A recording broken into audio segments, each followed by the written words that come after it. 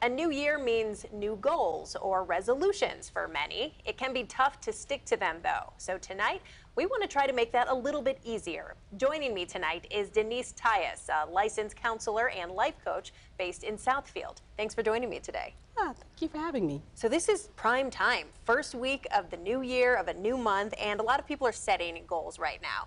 Uh, what advice would you give to someone when it comes to actually sticking to that goal? Well, I would suggest to a person that they should use what I call it is a SMART goal. Okay. Um, make sure that your goal is specific. Make sure that it's measurable, that it's attainable, it's uh, relevant to your life, and that it can be done in a timely manner. Okay. What are some of the mistakes we tend to make? A lot of times we make big goals. We say, I just, I want to lose a lot of weight. Not very specific. Not very specific. Why is that a bad goal? Uh, I think that's a bad goal. I wouldn't necessarily say it's a bad goal, but it can be an overwhelming goal. And I think when people become very overwhelmed, they kind of give up. So it's very important that a person makes certain that their goal is specific for their lifestyle. So if you don't have a gym membership, and if you're in a financial situation where you cannot afford a gym membership, don't um, say that you're going to lose a weight in a certain amount of time. Make certain that that goal is measurable. That you can say, okay, over a certain period of time, I'm going to just walk an hour a day, Sure. and it doesn't cost any money. Yeah, perfect. Is there a reason it's better to set goals where you have wins closer, you know, not waiting until a year goes by or until you've lost 50 pounds, something that you can have some small success soon? Yes, because that keeps you motivated. That keeps you excited about moving forward. And I believe if you envision what you want your life to look like after that goal is achieved, it gives you the empowerment and the energy to focus on attaining that goal. Yeah. So I think you need to set your mind to what my life is going to be like when I obtain this goal. Yeah. What does that look like? Envisioning. So, you know, we hear people talk about manifesting, and is it just thinking about it really quick and moving on, or do you need to sit down and focus, close your eyes? I think um, in order for that to actually happen, you need to really sit with yourself. And sometimes we don't want to sit with ourselves because it gets quiet and then we hear the noises in our head.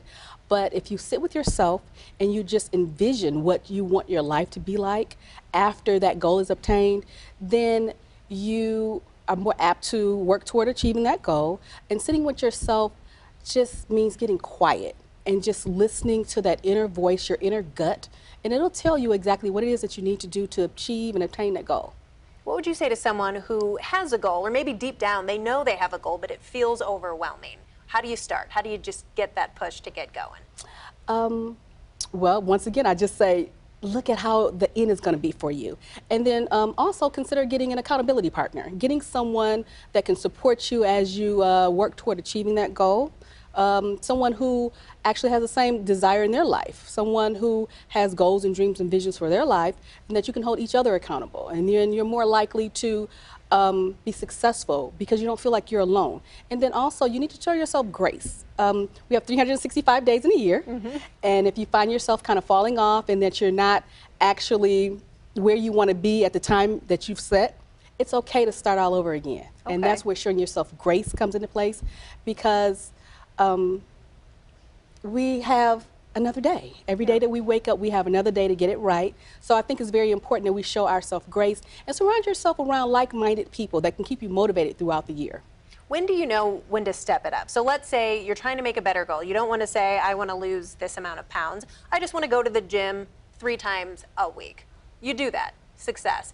At what point do you step that up to a different goal? When is it safe to say, okay, I've got this one handled? Once you see that you've been successful and you feel uh, rejuvenated as a result of obtaining that goal, then you can kind of pump it up a little bit and say, um, I want to maybe start uh, eating healthier. And that's when you can implement uh, uh, dietary changes into your uh, lifestyle Yeah. to go along with uh, the exercise. You mentioned accountability partners. Why do you think it's so helpful to talk to someone, to verbalize out loud what you want to do?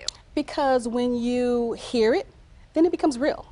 And then when you have someone that you know is going to hold you accountable, that's going to ask you, "How are you doing with your goals today? How are how is it coming? How many pounds have you lost? Or uh, what did you buy when you went to the grocery store today?"